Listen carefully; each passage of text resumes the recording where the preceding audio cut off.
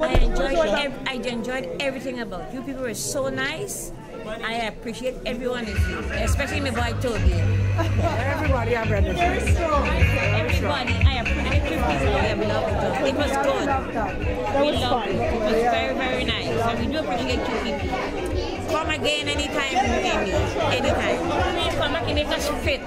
Physically fit. Because it's exercise as well. You don't have that opportunity every day. The day you have it, you take it and you do it what you have to do. Mm. And they, they look like a Broadway show.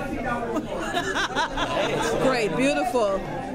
Very good. It's good for the senior, the seniors for the range of motion and the exercise. Uh-huh. They practice, and some a lot of them had limitations. Some with the shoulders. My grandmother has DJD, but they tried their best. They did excellent.